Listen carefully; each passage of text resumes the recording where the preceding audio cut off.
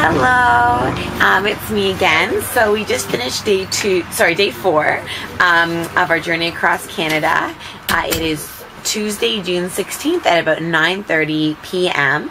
Um, definitely, definitely by far the, the most intense day physically for me. Uh, we started off the day in Brandon, Manitoba and then we cycled through St. Claude and we had an incredible reception. There was a whole bunch of grade three students there who had drawn us pictures and really encouraging um, words on them. So that was really, really sweet. And then we kept cycling to Winnipeg.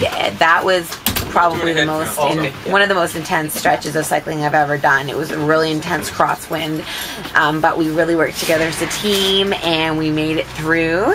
Um, so we cycled uh, about 200 kilometers today. So it's not the farthest distance I've ever done, but it was definitely one of the most intense conditions. So um, I really had to dig deep, and I'm proud of myself that I made through it. It that really shows you that um, if you train really hard for something, uh, you can achieve your your goals.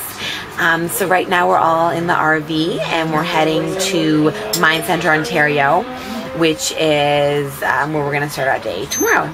So I just want to thank everyone who's um, been sending me their love. I really appreciate that.